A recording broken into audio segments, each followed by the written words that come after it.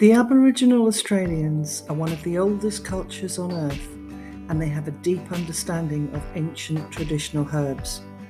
Sadly, much of that knowledge disappeared with the arrival of Europeans, but a high level of interest in native herbs still remains. The Aboriginal people enjoyed good health and believed that the spirit world played a large part in this. Much time was devoted to rituals with a sense of place and purpose in each life, using natural herbs, plants, and trees as medicine. The herbal traditions were lost through death of elders and dispersal of the tribes, and only a little knowledge of traditional Aboriginal medicine remains today.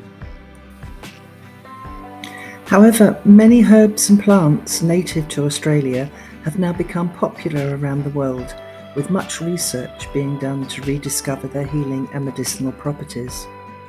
Also, many new settlers to Australia brought with them plants and herbs native to their lands, and these have now been cultivated and naturalised in Australia. Some of the most well known and popular remedies worldwide come from gotu kola, tea tree, fever bark, and eucalyptus, all native to Australia. Traditional Chinese medicine has influenced herbalism in Australia with a recent influx of Chinese medicine being available, as well as courses to study.